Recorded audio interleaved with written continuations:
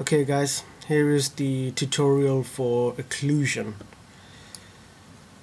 So first thing you want to do is go to polygon primitives and then create a plane.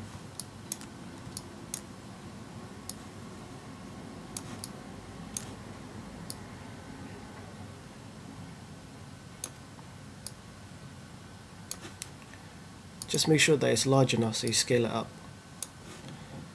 Once that is done, you want to select the plane as well as the object second object. In my case it's the character.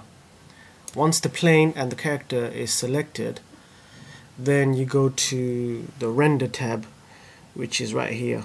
So you click on that and then what you want to do is you want to create a new layer. It creates a layer. Click on the new layer and then right click hold and then click on add selected objects.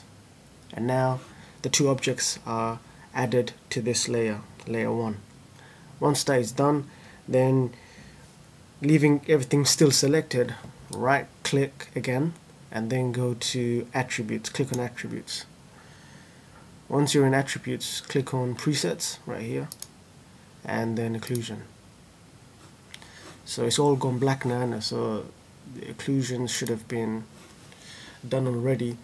And just to know that it's been done click on the render view again. And it should give me a rendered view of the whole thing in occlusion.